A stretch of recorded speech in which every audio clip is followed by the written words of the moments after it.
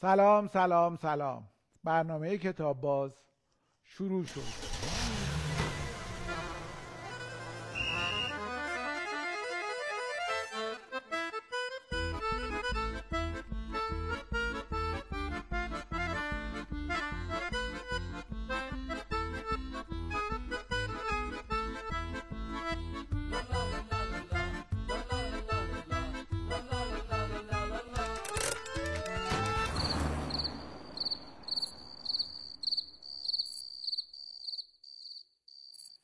هفته هم به روال چهارشنبه های گذشته در خدمت آقای یاسین اجازی و آقای مشتبا شکوری هست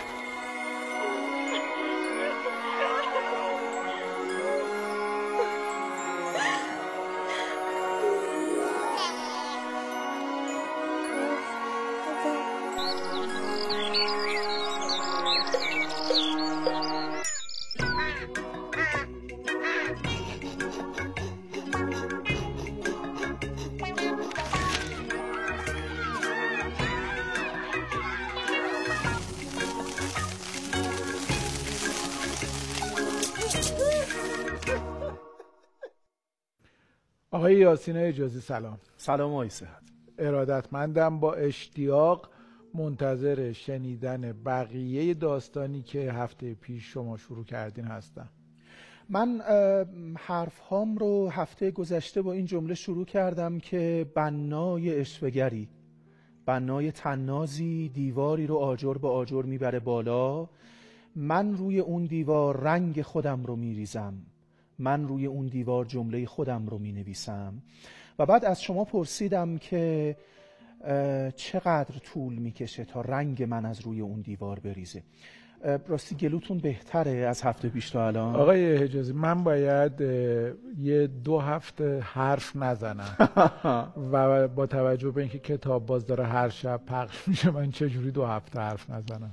الهی بهتر بشه خیلی خیلی متشکرم. الهی بهتر اگر که صدا می‌گیره از شما و از بیننده عذرخواهی می‌کنم و امیدوارم کمتر یا آرومتر حرف بزنم که این تارهای صوتی که ملتهب شده آرامش پیدا کنن. الهی بهتر بشه خیلی متشکرم. من هفته پیش از شما پرسیدم که چقدر طول می‌کشه تا رنگای اون دیوار بریزه؟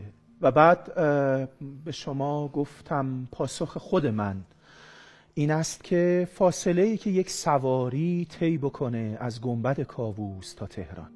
یعنی از جایی که قرن پنجم و چهارم هجری بهش گرگان گفته می‌شد تا ری قرن چهار و پنج تهران کنونی. منوچهر قابوس و مسعود محمود. این اضافه در فارسی اضافه بنوت گفته میشه دیگه. منوچهر پسر قابوس مسعود پسر محمود. اینها با همدیگه پنهانی مکاتبه هایی داشتند و منوچهر خواسته بود که مسعود با او عهدنامه ای بنویسه. سلطان جاری و حاکم محمود غزنوی است. و خاج عبدالقفار میگه که یک شب پردهدار مسعود اشکال داره من اون تیکه ها رو از دفعه قبل بخونم تا وارد خود ماجرا بله، بشیم. به بله. نظرم دوره متن بیهقی بهتر از تعریف کردن منه. پس یک شب در آن روزگار مبارک پس از نماز خفتن پردهداری که اکنون کوتوال قلعت سکاوند است. در روزگار سلطان معظم ابو شجاع فرخزاده ابن ناصر دین الله بیامد و مرا که عبدالغفارم بخواند و چون وی آمدی به خواندن من مقرر گشتی که به مهمی مرا خوانده می آید کوتوال یعنی دژدار قلعبان کسانی دژدار بودند و کسانی فوجدار. سپاهیان برون قلعه رئیسی برای خودش داشته. خود قلعه رئیسی برای خودش. و خب ما می‌دونیم دیگه که شهرهای قدیم در حصار قلاع و دژهایی می بوده است. ساخته برفتم با پردهدار. یافتم امیر را در خرگاه تنها. بر تخت نشسته و دویت و کاغذ در پیش و گوهرایین خزیندار و او از نزدیکان امیر بود آن روز. ایستاده. رسم خدمت را به جای آوردم و اشارت کرد نشستن را. بنشستم. گوهرایین را گفت دویت و کاغذ عبدالغفار را ده. وی دویت و کاغذ پیش من بنهاد و خود از خرگاه بیرون رفت. امیر نسخت عهد و سوگندنامه که خود نوشته بود به خط خود به من انداخت. و چنان نوشتی که از آن نیکوتر نبودی چنان که دبیران استاد در انشای آن عاجز آمدندی. شارهان گفتند این الزاما مبالغه بیحقی درباره سواد مسعود غزنوی نیست و تاریخ هم گواهی می‌دهد که مسعود و محمد پسران محمود اینا واقعا دبیران استادی داشتند. مثلا از همون جمله هم که تو دو برنامه پیش گفت وقتی که قرار بود اسب براش بیاد معلوم بود. آفرین آفرین. یعنی گفتند که این لزوما مبالغه نیست. دلالت بر سواد این امیرزاده هم می‌کنه. به حال عبدالغفار میگه یه نامه ای به من داد مسعود که او رو چنان نوشته بود که من به حیرت ماندم از نامه نوشتن مسعود. من نسخت تعمل کردم. نوشته بود که همی گوید مسعود ابن محمود که به خدای عزوجل و آن سوگند که در عهدنامه نویسند. که تا امیر جلیل فلک المعالی ابو منصور منوچهر ابن قابوس با ما باشد و شرایط را تا به پایان به تمامی آورده. چنان که از آن بلیغتر نباشد و نیکوتر نتواند بود. من عبدالقفار که محرم امیر مسعود بودم متوجه شدم که منوچهر قابوس والی گرگان و تبرستان در زیر سایه سلطنت محمود با پسرش که ولیعهد هم نیست. و همین چند هفته قبل در گنبد کابوس تصریح شد که تو دیگه ولیعهد نیستی. اینا دارن عهدنامه می نویسند چون بر آن واقف گشتم گفتی تشتی بر سر من ریختند. پر از آتش و نیک بترسیدم از سطوت محمودی و خشک بماندم. وی اثر آن تهیر در من بدید گفت چیست که فرو ماندی و سخن نمی‌گویی؟ و این نسخت چگونه آمده است؟ دیالوگ بین عبدالقفار و مسعود. گفتم زندگانی خداوند دراز باد. بر آن جمله که خداوند نوشته است هیچ دبیر استاد نتواند نوشت اما اندرین یک سبب است که اگر بگویم باشد که ناخوش آید و به موقع نیفتد و به دستوری توانم گفت. من میترسم یه چیزی درباره این نامه بگم که جاش نباشه. و اگه فقط اجازه بدی میگم یعنی اگه امان بدی می‌خوام یه چیزی بهت بگم انتقادی ازت بکنم. مسعود گفت بگوی. گفتم بر رای خداوند پوشیده نیست که منوچهر از پدر خداوند ترسان است. خداوند مسعود. و پدر خداوند از ضعف و نالانی امروز چنین است که پوشیده نیست و به آخر عمر رسیده و همه پادشاهان و گردنکشان اطراف ترسانند و خواهند که به انتقامی بتوانند رسید. همونطور که ما می‌دونیم پادشاهان اطراف هم می‌دونن که محمود آخراشه. و ایشان را مقرر است که چون سلطان گذشته شد امیر محمد جای او نتواند داشت و از وی تثبتی نیاید. گیرم ما ندونیم تثبت یعنی چی. می‌فهمیم که این باید از یه چیزی مثل ثبات و اینها بیاد دیگه. امیر محمد برقراری نداره.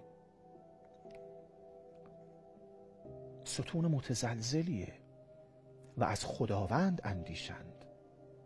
بیمناک تو اند مسعود. می‌دونن داداشت نمی‌تونه ولی عهدی کنه.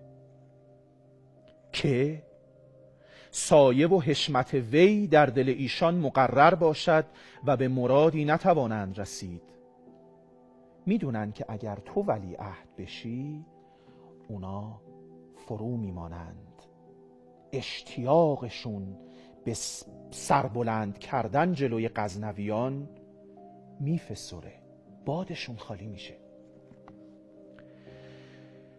و ایمن چون توان بود بر منوچهر که چون این عهد به نزدیک وی رسد به توقیع خداوند آراسته گشته تقربی کند و به نزدیک سلطان محمود فرستد و از آن بلایی خیزد تا وی به مراد خیش رسد و ایمن گردد.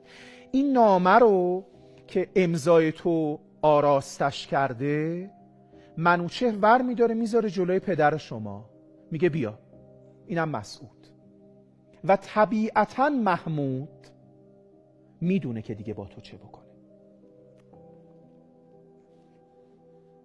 و پادشاهان حیلت ها بسیار کرده اند که چون به مکاشفت و دشمنی آشکارا کاری نرفته است به زرق و افتعال دست زده اند تا برفته است. زورشون به تو و محمود نمی‌رسه ولی اینطوری با دروغ بافتن زورشون می‌رسه. و نیز اگر منوچهر این ناجوان مردی نکند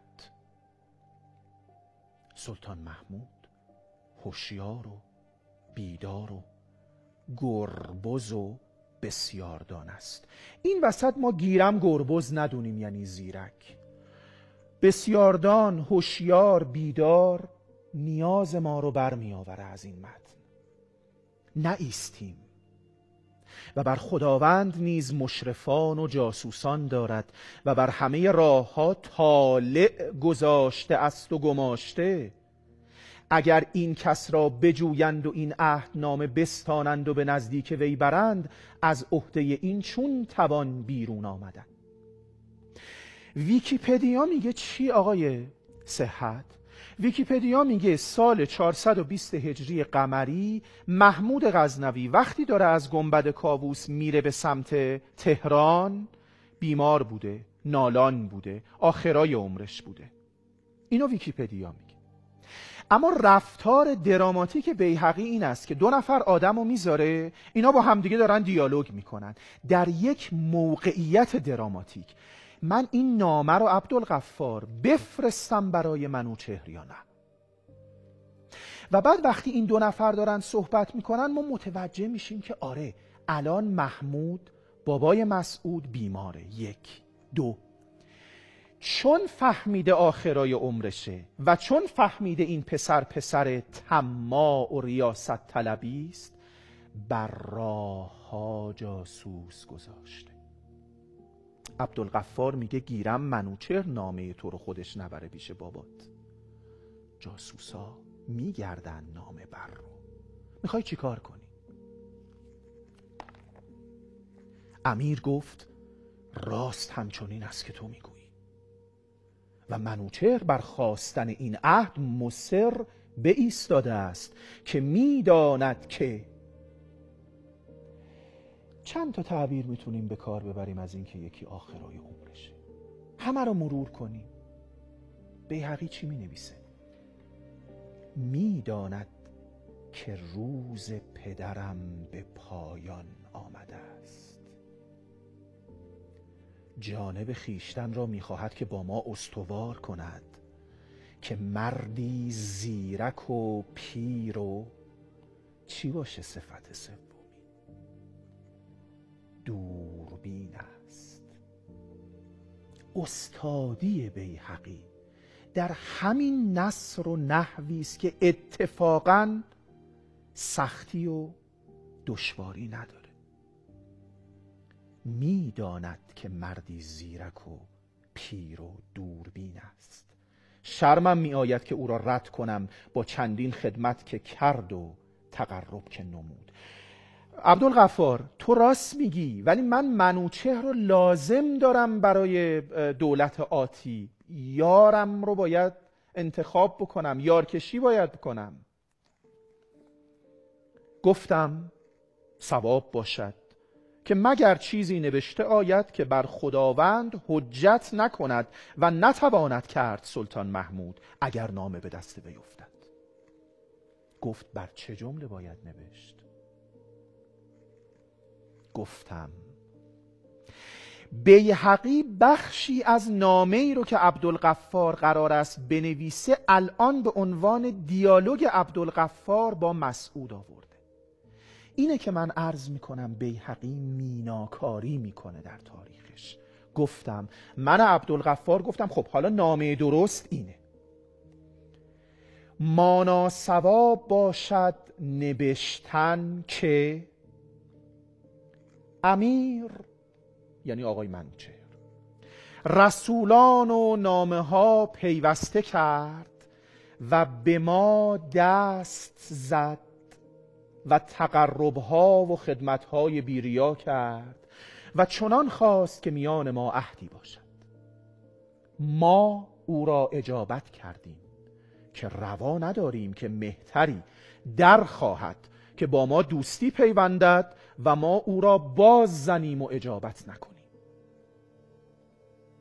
اما مقرر است که ما بنده و فرزند و فرمان بردار سلطان محمودیم و هرچه کنیم در چنین ابواب تا به دولت بزرگ وی باز نبندیم راست.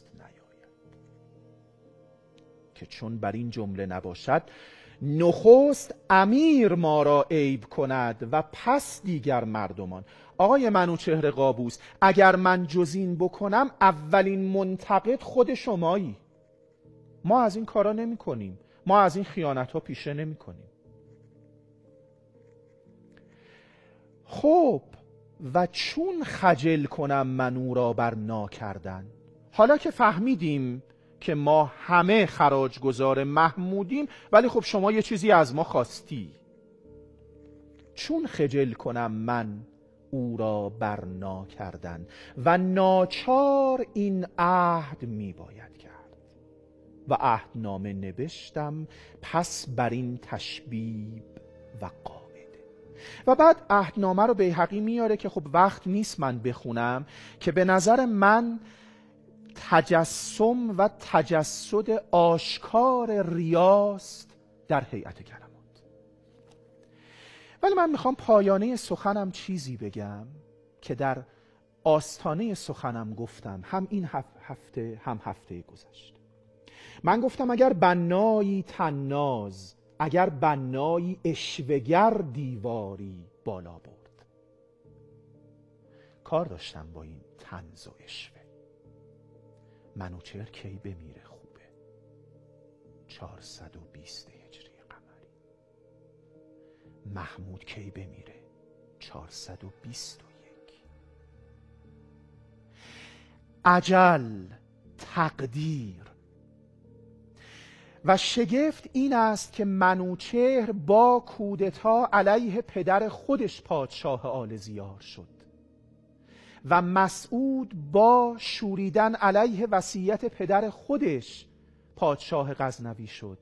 هر دو ولی رنگشون نوشتشون روی دیوار اون بنای اشوگر نماند.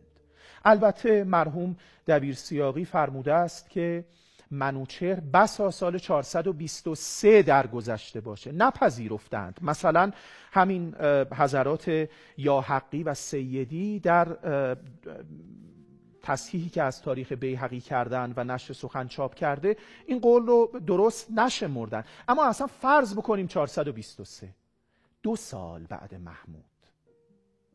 چیز غریبی است کاری که اون بنا می‌کنه.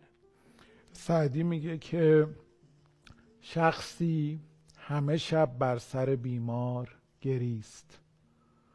چون صبح شد او بمرد و بیمار بزیست. آخ. آخ. حرف درست حرف حساب. خیلی خیلی خیلی متشکرم. سیر نمیشم و از الان منتظر چهارشنبه بعد محبت شما. آقای مشتبه شکوری سلام. سلام و عرض ادب و احترام خدمت شما و مردم عزیز ایران. خیلی خوشحالم که منم خیلی خوشحالم. متشکرم. این هفته درباره چی صحبت این هفته سروشان یک کتابی رو آوردیم به نام توهم آگاهی با این عنوان فرعی که چرا هیچگاه در اندیشیدن تنها نیستیم؟ مال کتاب کوله پشتیه نوشته استیو اسلومن آقای فیلیپ فرنباخ و ترجمه خانم مینا تربتی و محسن فشی. اگه درست خونده باشه چرا هیچگاه در اندیشیدن تنها نیستیم؟ یعنی چی؟ یعنی اینکه کتاب با این شروع می‌کنه که ما چقدر کم می‌دونیم و بعد به یه سوال بنیادی می‌رسه که انقدری که تک تک ما کم اطلاعات داریم راجع به جهان پس چطور این همه دستاورد داشتیم؟ و بعد از این مفهومی حرف می‌زنه به نام شبکه آگاهی. میگه جمجمه ما مرزهای آگاهی ما رو محدود نمی‌کنه. مرزهای مغز ما رو محدود می‌کنه. ولی ما شبکه ای از آگاهی داریم که به همدیگه وصل میشیم. و به این طریق ما هیچگاه در اندیشیدن تنها نیستیم. یعنی من وقتی دارم فکر می‌کنم شما جهان دیگری همه اینها در اون تفکرات من حضور دارن. بله من یاد یه جمله از بو سینا افتادم؟ جمله معروف همه چیز را همگان دانند. بعد دقیقا دقیقا همینه. میگه که اصلا بذارید با این مثال شروع کنم. فرض کنید یه سیاره است توش دو تا قبیله زندگی می‌کنن. توی قبیله پر از نوابقه. آدمایی که بی‌نظیرن قدرت ذهنی خیلی زیادی دارن اما نمی‌تونن با هم ارتباط بگیرن. مایل نیستن اطلاعاتشون رو به اشتراک بذارن همکاری کنن یه شبکه از اطلاعات بسازن. ولی یه قبیله دیگه تو این سیاره است که هوش متوسط دارن. اما می‌تونن با همدیگه گفتگو کنن می‌تونن همکاری تعریف کنن قصه هایی بگن که انسجام تولید کنه. کدوم که از این دوتا قبیله به نظرتون در گذر زمان می‌تونن موفق تر باشن قبیله دوم. ما قبیله دومیم. ما به صورت فردی می‌دونید ظرفیت ذهنی خیلی خیلی فوق العاده نداریم. ولی وقتی از گذشته از هزاران سال پیش تونستیم یه شبکه بسازیم که اگه یکی ماهیگیری بلده به دیگران هم یاد بده و اگه یکی هنر دیگه ای بلده. در مثلا دوختن پوشاک به دیگری یاد بده. و تو این تقسیم کار و شبکه آگاهی تونستیم در واقع اولین گونه ای باشیم که این سیاره رو ترک می‌کنه. این همه دستاوردهای علمی داشته باشیم. در واقع این عنوان چرا هیچگاه در اندیشیدن تنها نیستیم از اینجا آب می‌خوره. اما کتاب روندش سروشان اینجوریه که اول یه ذره ما رو اعتماد به نفسمون رو می‌گیره. اول در مورد این حرف می‌زنه که اون فرض انسان خردمند منطقی فرض غلطیه. ما بسیاری از چیزهایی که فکر می‌کنیم می‌دونیم رو در واقع نمی‌دونیم. بذارید یه آزمایش خیلی ساده ای که انجام شده رو مثال بزنم. مثلا کتاب میگه که از آدمای زیادی پرسیدن که بگن که از یک تا هفت در مورد عملکرد زیپ چقدر اطلاعات دارن. مکانیزمی که زیپ کار می‌کنه چه جوریه؟ آدما میانگین پنج دادن به خودشون. احتمالا می‌تونن توضیح بدن. بعد ازشون پرسیدن خب حالا واقعا یه زیپ چطور کار می‌کنه؟ و خب آدما نمی‌تونستن بیشتر از یکی دو جمله توضیح بدن دیگه. بعد دوباره ازشون خواستن که به دانششون در مورد عملکرد زیپ که خیلی چیز ساده نمره بدن نمره نزدیک دو بوده. می‌دونید من می‌خوام بگم ما وقتی راجع به چیزهای ساده ای که فکر می‌کنیم می‌دونیم و اعتماد به نفس کاذب داریم که آگاهی داریم مثل زیپ انقدر کم می‌دونیم راجع به مسائل مهم دیگه ای توی اجتماع توی مسائل مختلف چقدر کم می‌دونیم و چقدر این توهم آگاهی می‌تونه به ما آسیب بزنه. ببین سروشان ما عملا دوچار یه تناقضیم. و اون تناقض اینجوریه که می مثال بزنم. کتاب میگه که از خود در واقع سالش رو دقیق بگم. میگه سال 1954 آمریکا یه بمب اتمی رو امتحان کرد به نام میگو توی سواحل اقیانوس آرام توی در اقیانوس آرام. خب اومدن بررسی کردن که این چقدر در واقع قدرت تخریب داره کدوم جزیره ها رو تخلیه کنن کجا منفجر کنن که آسیب نبینه و فلان. ولی وقتی منفجرش کردن دیدن یک سوم قدرت بمب رو تخمین زدن. یعنی تا سه برابر آن چیزی که اونها تخلیه کرده بودند بمب ساید افکت داشت اثرات زمینی داشت و هزاران نفر آسیب دیدن. یه سوال مهم اینجا مطرح میشه. ما یه گونه ای هستیم که به طرز متناقضی انقدر باهوشیم که همکاری کنیم و یه بمب اتم بسازیم که خیلی چیز پیچیده ایه و همزمان گونه ای هستیم که انقدر نادانیم که این رو انقدر کم تخمین بزنیم. و حتی یه چیز دیگه گونه ای هستیم که انقدر نادانیم که این بمب رو بریزیم رو سر همدیگه رو سر آدم های بیگناه. این کتاب در مورد این در واقع تناقض داره توضیح میده و خیلی بحث درخشانی داره. باز یاد یه شعر افتادم. بفرمایید. شعر رو می‌خونم؟ عالیه. همه بیننده هم توی هم کامنت ها هست هم اون منو می‌بینن میگن که چقدر توضیحات شما کامل می‌کنه بحث. قربون شما خواهش که. لطف شما. ولی شعر درباره همینه که ما چقدر توهم آگاهی می‌تونه خطرناک باشه؟ درست. ت- میگه تیغ بران در کف زنگی مست. چقدر چیز خطرناکیه. دیگه تیغ بران در کف زنگی مست. به که نادان را فتد علمی به دست. آه. چون خیلی دیگه دقیقا. چون نا- اعتماد به نفسی بهش میده و و, و اصلا اشتباه همون بمب رو میاد رو سر بقیه آدما میندازه. دقیقا همینطوره. دقیقا همینطوره. یه نکته بگم سروشان تو کتاب نیست ولی خیلی نکته مهمیه. ببین از اسم هگل نترسیم. من خیلی ساده می‌خوام توضیح بدم. شما بهتر از من می‌دونید. خیلی از مخاطبانم همینطور. هگل یه مدلی داره که رشد آگاهی رو تو تاریخ با این مدل توضیح میده. مدلش اینه که میگه که خب یه تزی مطرح میشه. تو محیط کار تو خانواده تو جامعه یه گفتمانی طرح میشه. میگه وقتی طرح میشه یه آنتیتزی هم همون لحظه یا یه ذره بعد شکل می‌گیره. یه سری آدم مخالف این گفتمانن یه سری آدم ایده هایی دارن اصلاحاتی دارن نقد هایی دارن. میگه وقتی این تز و آنتیتز با هم دیگه برخورد می‌کنه و گفتگوی انتقادی آغاز میشه یه چیز جدیدی تولید میشه به نام سنتز. درسته؟ ولی مثالش اینطوریه که فکر کن این تیم فوتبال A این تیم فوتبال B اینا با هم برخورد می‌کنن و یه تیم ملی تولید میشه که هم علمان های تیم A رو داره هم B رو ولی A و B نیست. یه چیز دیگه است یه گفتمان دیگه است. نکته که جالبه و اینجا هگل میگه اینه که این سنتزه حالا خودش یه تز جدیده. درسته؟ پس یه آنتیتز علیه این تولید میشه. اینا با هم برخورد می‌کنن. سنتز دو تولید میشه. دوباره به هم. و اینجوری تاریخ هی خودش رو اصلاح می‌کنه آگاهی گسترش پیدا می‌کنه. روند پیشرفت علم رو میشه اینجوری توضیح داد. یه نکته مهم اینه که اون زنگی مست یا هر آدمی هر کدوم از ما باید بدونیم که بخش زیادی از آگاهی ما دچار خطاهای شناختی بنیادینه و یه لطف مهمی که در حق خودمون می‌تونیم بکنیم و گفتمانمون می‌تونیم بکنیم اینه که اجازه بدیم آنتیتزش ساخته بشه.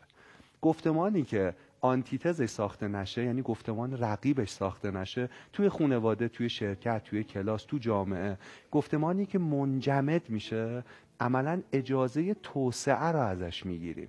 یعنی تمام نیروهای محرک اون ایده رو که باید هی منتقدانه تراشیده شه شکل بگیره اینو ازش می‌گیریم.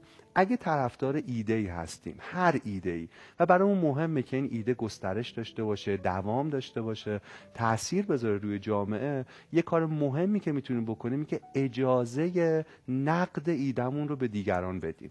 به اعضای خانوادهمون به اعضای شرکت به جامعه به همه اینها. و یه چیز خیلی جالبی که من برام خیلی هیجان انگیزه اینه که ما هر چقدر بیشتر می‌دونیم بیشتر می‌فهمیم که نمی‌دونیم. دقیقا, این من یه توضیح کوچیک بدم. حتما حتما. بگید که- من یه مثال خوبم دارم براش. فکر کنین که اینو بذاریم عالم. حالا عالم نامتناهی یونیورس هرچی این الان ما بیایم توی یه مدلی بگیم اینه. درست و ما یه نقطه کوچیک درسته؟ درست. ما مق...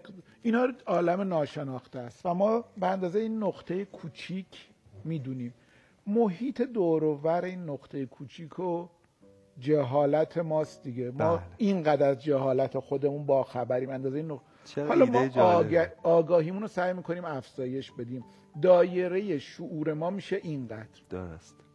حالا دایره شعور ما الان دیگه نقط... نقاطی که نمی‌شناسیم هم خیلی بیشتر با این محیط در تماسن دقیقاً. یعنی تا هر چقدر داریم گنده تر میشیم با سطح بیشتری از ناآگاهی مواجه و سطح بیشتری از ناشناخته ها رو لمس رو. دقیقا. یه چیز جالب و بگم. شعر بی تا به دانجا رسید دانش من که بدانم همی که نادانم. عالی بود عالی بود. این. کتاب مال کی بود چه؟ اینه مال بوعلی سیناست و نکته اینه که بوعلی سینایی که در زمان خودش و هنوز اینقدر دایره دانشش گسترده بود میگه حالا که دانشم هر چقدر بیشتر شد بیشتر فهمیدم که چقدر حوزه و دامنه ندانسته هم زیاده. چقدر عالی. یه مثالی تو کتاب داره خیلی جالبه. میگه از سال 2006 دانشگاه کلمبیا یه دوره ای رو برگزار می‌کنه. اسم دوره دوره جهله. دوره جهله.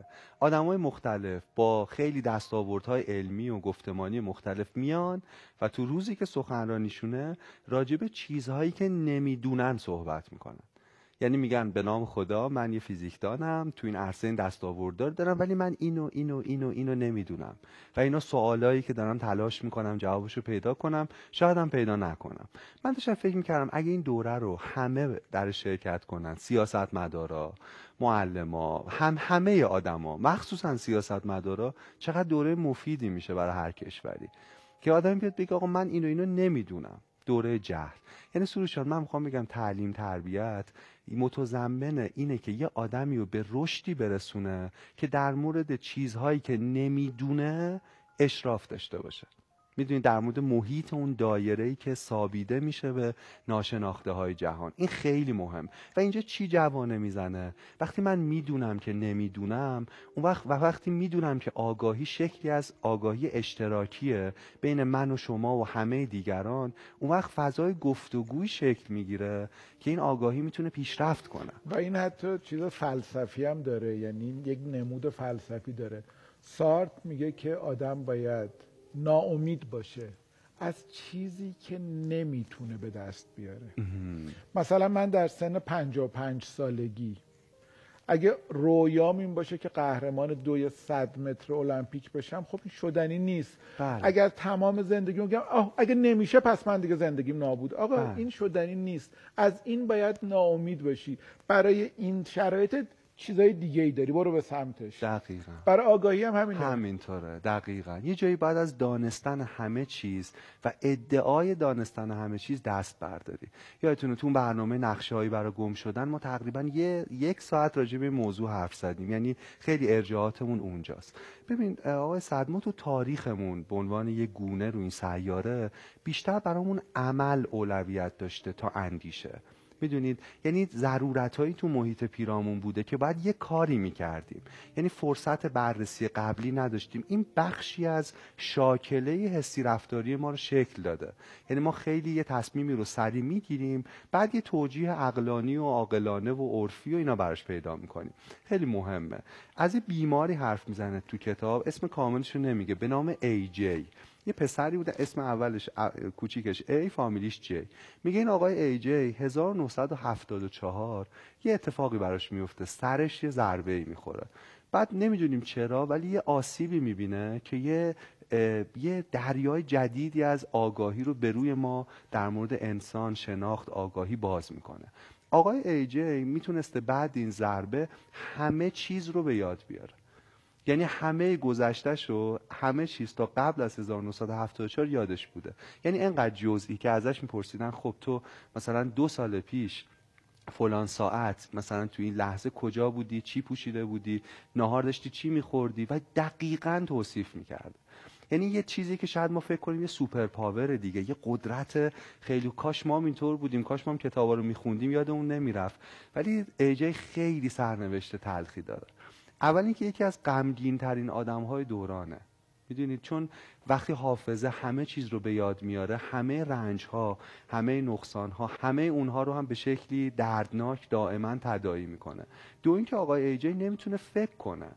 نمی‌تونه فکر کنه. از بس که این حافظه دم دسته اون می‌تونه بگه این کتاب تو این صفحش کامل چی نوشته. و نمی‌تونه تحلیلی از این کتاب ارائه بده. یا برداشتی شد به خاطر اینکه مثل نگاه کردن به یک چراغ روشنه. نور زیادم می‌تونه کور کننده باشه. اطلاعات زیادم می‌تونه باعث شما توانایی تحلیل و تفکر از دست بدیم. حالا چی می‌خوام بگم؟ می‌خوام بگم آقای سعد مغز ما در یک پروسه خیلی تاریک چیزهایی رو که ما حتی داریم رو هم به عنوان حافظه آرام آرام به جای دیگری دور از دسترس آگاهی ما منتقل می‌کنه تا ما بتونیم فکر کنیم. تا ما بتونیم فکر کنیم. بتونیم به زندگی ادامه, ادامه بدیم. باز حالا تو تاریخ خیلی جالبه تو زندگیمون. ما وقتی 120 روزگی دوران جنینی هستیم آروم آروم مغز داره شکل می‌گیره. تا سه سالگی این مغزه شکل کاملش رو پیدا می‌کنه. من منظورم شبکه از نورون هاست که با سیناپس ها به همدیگه وصل میشن. هر نورون میگن حدودا بین 10 هزار تا 15 هزار سیناپس می‌زنه با نورون های دیگه. و یه شبکه عظیم از در واقع آگاهی اینجا داره شکل می‌گیره. اما از سه سالگی تا 16 سالگی مغز ما یه کار عجیب می‌کنه. نصف این شبکه آگاهی رو که ساخته خاموش می‌کنن میکشدش. چرا؟ برای اینکه ما بتونیم فکر کنیم. برای اینکه مغز بیش از حد خوبه. برای اینکه مغز اگه تا سه سالگی این فرمو داره به خاطر اینکه ما باید زبان رو یاد بگیریم راه رفتن رو یاد بگیریم مهارت های بیسیک زیستن رو یاد بگیریم اینا رو که یاد گرفتیم این آماده بارگذاریه بعدش ولی ما باید بتونیم فکر کنیم و برای فکر کردن ما باید چیزهای کمی داشته باشیم مثل ماشینی که بتونیم می‌تونه ربط بدیم. 500 کیلومتر در ساعت بره آره. ولی مهارش می‌کنن که بیشتر از مثلا 170 تا 120 تا نره, نره که, که, که. نکشه صاحبشو دقیقا ببین یعنی می‌خوام بگم یکی از چیز نکات مهم در توهم آگاهی اینه که خود مغز ما برای بقای ما حتی آگاهی که ما داریم رو بخشیش رو سانسور می‌کنه قایم می‌کنه فراموش می‌کنه برای اینکه ما بتونیم زندگی روتین و روزمره رو اگه ادامه برگردیم به بحث سوگی که شما دو جلسه داشتیم آفرین. و ما وقتی سوگوار میشیم اگر نره عقب اگه فراموش نشه اصلا التیام پیدا نمی‌کنه. و اگه ای جی آدم خیلی خیلی غمگینی بوده به خاطر این بوده که فول اچ دی همه اونها رو به یاد می آورد بدون اینکه بتونه فراموش کنه بدون, اینکه بتونه معنایی به اون خاطره بده. فقط به یاد می آورده به یاد می آورد من از یه منظر دیگه ای به یه کتاب اشاره بفرمایید. بکنم میگم این ربطی به حرف شما نداره ولی چون یادم اومد یه کتاب خیلی خوبی از به اسم همه میمیرند. نوشته یه خانم سیمون دوبو بله. داستان یه آدمیه که آره داستان الان لو نمیره. نکته این همون صفحات اول معلوم میشه. اتفاقا زندگی این آدم مهمه که با اتفاقی دوچار بیمرگی میشه. بیمرگ شده از قرنها پیش. آدمیه که نمیمیره. چیزی که خیلی دلشون می‌خواد دیگه. بله. آب به آب حیات دست پیدا. کرده. و یه دفعه ما می‌فهمیم چقدر زندگیش خالی از معنا میشه. چون شجاعت بخشندگی گذشت دوستی جسا اینا همه. در در مقایسه با یک چیزی در مجاورت یک چیزی به اسم مرگ که معنا داره آفرین. من هر چقدر آدم سخاوتمند و سخی باشم اگه مرگ نباشه که معنادار نیست سخاوت من. آفرین. شجاعت من مهربانی. ما یه عاملی هست که محدودمون می‌کنه و باز در مقابل اون محدودیت داریم ادامه میدیم. به مهربانی کردن از خودگذشتگی. آفرین. تو همین گفتمان سارت معتقد مرگ یک انقلاب معناییه. از این نظر که حضورش باعث میشه خیلی چیزا بی‌معناشه و خیلی چیزا با معناشه یعنی اینکه ما فرصت کوتاهی داریم و یه رنج دیگه جاودانگی احساس اینه که همه آدمهایی که دوست داری فانی از دنیا میرن و تو باقی بله، و دوباره اصلا. توانایی آره مهرورزی رو برای مدتی از دست میدی. دقیقا. چقدر خوبه بحثمون. و این نکته تعریف کردم از شما بیشتر ولی عالی بود. یه نکته بگم یکی دیگه از ضعف‌های ذهن ما سروش جان اینه که ما خیلی تفکر استقرایی برای اون حاکمه. یعنی یعنی چی؟ چی؟ توی ریاضی استدلالی هست بهش میگن استدلال استقرایی. استدلال ضعیفی هم هست دیگه. ما وقتی معادله رو نمی‌تونیم ثابت کنیم یه کاری می‌کنیم. مثلا به اون x یه بار یه عدد میدیم مثلا میگیم یک. بعد می‌بینیم صدق می‌کنه. یه بار عدد دو رو میدیم صدق بعد میگیم دیگه به ازای n ما فکر می‌کنیم که صدق می‌کنه خب؟ ولی استدلال غلطیه دیگه. می‌دونید ما یکی دیگه از اون ناتوانایی های شناختیمون اینه که دنیا رو با استدلال استقرایی می‌فهمیم. یعنی میگیم که خب من یه بار این کار کردم اینجوری شد بار دومی کار کردم اینجوری شد پس عملا همیشه باید اینجوری بشه. مثال جالبی که براش می‌زنن و ما قبلا گفتیم رابطه یه بوقلمون و صاحبشه یه آقای یه بوقلمون رو می‌خره می‌ذاره تو قفس. بوقلمون روز اول نگاه می‌کنه میگه خب این منو نخورد آب و دونم بهم داده خیلی هم مهربونه. روز دوم روز سوم اعتمادش با استدلال استقرایی داره به نقطه مطلق می‌رسه. درست در روز صدم که بیشترین اعتماد و البته چربی رو داره روزیه که سرشون می‌برن. درسته؟ می‌خوام بگم باز اینم اینه که ما شناختمون رو گسترش میدیم به تمام پدیده ها یه تجربه بعد با یه آدمی از یه شهری داریم. میگیم اینا کلا اینطوری یه تجربه بعد دوباره می‌دونید می‌خوام بگم اینم باز از ضعف‌های آگاهیمونه. خوبه که بدونیم. خوبه که تو تصمیم‌های مهم زندگیمون بگیم نکنه من دارم استقرا می‌زنم. و چقدر قدرتمند استدلال من چقدر پایه‌های منطقی داره. چقدر توصیفی که از دنیا جهان دارم می‌کنم توصیف درستیه. تو کتاب تفکر بیدرنگ و بادرنگ. بله. مثالی که می‌زنه از همین تفکر استقرایی اینه که ما توی رستورانی نشستیم. میز بغلمون دو نفر دارن صحبت می‌کنن و ما میشنویم که از غذا راضی نیستن. چند لحظه بعد یکیشون گارسون رو صدا می‌زنه. و بعد صحبتی می‌کنن که معلوم نیست چیه. اینا احتمال زیاد میگن که این داره درباره غذا حرف می‌زنه و میگه چرا غذاتون بده و ایراد میگه در که ممکن اصلا در درباره یه چیز دیگه. داره صحبت می‌کنه درسته. چرا داره میگه چقدر سالادتون خوشمزه است یعنی هر چیزی می‌تونه بگه شاید داره. درباره آره. ماشینش صحبت درسته. می‌کنه ولی اون نکته اول ذهن ما رو هدایت می‌کنه که احتمال زیاد اینه و این درسته که گاهی وقتا می‌تونه درست باشه خیلی وقتا می‌تونه خیلی. وقتا می‌تونه. اشتباه باشه. دقیقا. و آقای سعد ما دائم در حال حد زدنیم و گسترش دادن حدسمون به کل ساحت واقعیت. می‌دونید؟ و خیلی دردناکه دیگه خیلی. یه نکته دیگه در مورد باز آگاهی بگم. ببین آقای سعد ما از جهان از می‌خوام بگم مرزهای در واقع آگاهی ما فقط جمجممون نیست. انگار یه آگاهی شبکه‌ای داریم. اما از جهان به عنوان حافظمون هم استفاده می‌کنیم. مثلا بیننده همون این تمرین رو بکنن. الان دارن ما رو می‌بینن دیگه خب؟ ولی تو اتاق اونجایی که هستن کلی چیزای دیگه هست. چیه اونجا؟ مثلا یه صندلی می‌تونه اون کنار باشه یه قوری می‌تونه یه لیوان چای فو ما اینا نمی‌بینیم. ولی مطمئنیم که در جهان پیرامون ما هستن. یعنی یه جورایی ما یه تصویر از جهان رو می‌گیریم و این جهان انگار دیگه مرزش با آگاهی ما مشخص نیست. ما وصلیم به این دنیا. یه فیلمی بود فیلم قوی هم نیست واقعا. فیلم زردی به نام لوسی. که یه خانومی یهو وصل میشه آگاهیش به تمام ارکان جهان و همه اینها.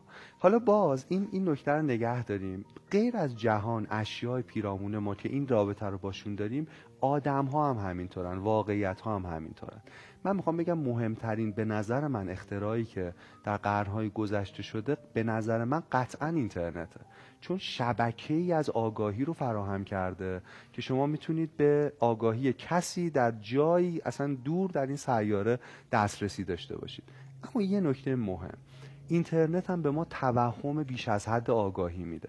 چون من می‌تونم برم یه چیزی رو گوگل کنم یا تو ویکیپدیا چک کنم این حس رو دارم که می‌دونم ولی در واقع نمی‌دونم اون رو. من دسترسی دارم به اون شبکه آگاهی. درسته؟ این قید رو باید بدونیم. و نکته مهم بعدی.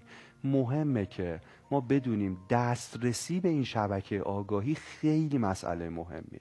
یعنی با همه نقدایی که ما به اینترنت داریم و فضای مجازی داریم و که کلی هم تو کتاب باز راجبش حرف زدیم یکی از کار مهمی که من به عنوان معلم باید بکنم اینه که مطمئن شم شاگردانم به شبکه آگاهی وصل هستن. این شبکه آگاهی گاهی اینترنت گاهی تماس با آدم های دیگه است گاهی تجربه های زیسته در جهان میگه همه ایناست. گاهی ورزشه گاهی پیا یک عالم است. ولی به عنوان یه والد به عنوان معلم ما باید می‌دونیم مواظب این باشیم.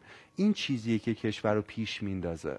این چیزیه که تو این رقابتی که علم یکی از عناصر مهمه که کدوم کشور قوی یا ضعیفه می‌تونه کشور رو قدرتمند کنه.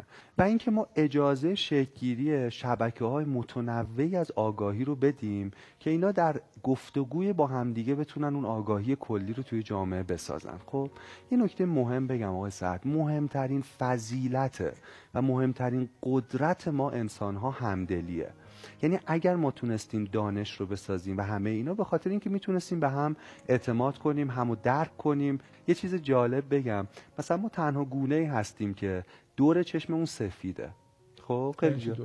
یعنی که شما به گوزنا نگاه کنید به انواع گونه ها به ماهی ها به همه اینا کل در واقع مردمک اون سطح چشم رو پوشش میده ولی ما. تنها گونه ای هستیم که اون اسم سفیدیه چیه نمی‌دونم سفیدی چشم. سفیدی چشم رو داریم حالا این منظورتون سفیدی اسم علمی که نبود مثلا نبی. نمی‌دونم اسمش خب. چیه از اون چیزاست که بله. باید بگیم نمی‌دانم از تو دوره جهلمون ولی جالبه که ما وقتی چشممون دوره سفیده یعنی خیلی راحت لو میریم.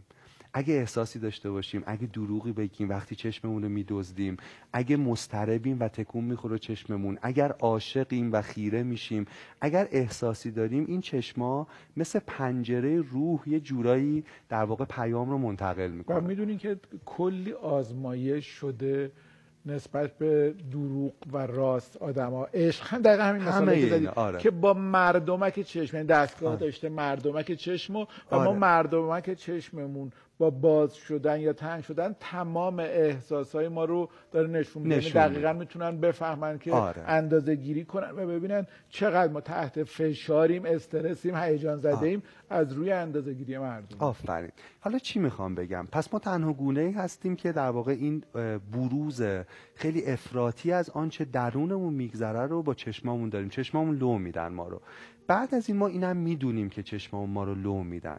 پس اکثر آدما ترجیح میدن که رو راست باشن. علا رقم اون تصویری که از سرشت بشر هست که میگن منفی و فلان ولی تجربیات ولی پژوهش‌ها نشون میده ما ترجیح میدیم همدل باشیم ترجیح میدیم احساس واقعیمون بگیم مگه در مواردی که این کارو نمی‌کنیم. خب ولی اون اصل یعنی ولی اون در واقع چیزی که غالبا انجام میدیم این رفتاره.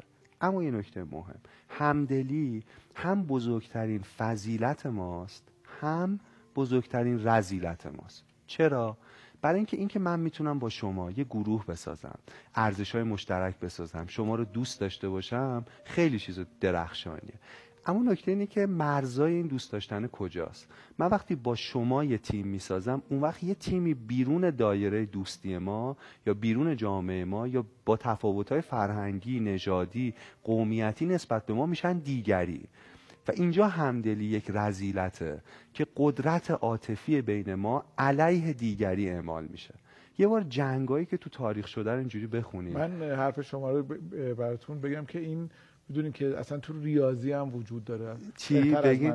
دوباره باید یه مدل فضایی بکشم. بگید قل- چیزی می‌خوام بفهم. میشه دفترتون هم بله بکشم خواهش می‌کنم بله. این اول. اول کتاب یک دو سه بی نهایت. خب. که یه خانم ریاضیدان نوشته و استاد مرحوم پرویز شهریاری ترجمه کردن.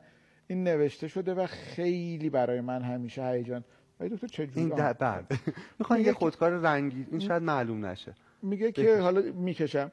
اگر ما یک مجموعه ای از دارم خودم هم خودکار اگر ما. یک مجموعه ای از نق... نقاط داشته باشیم.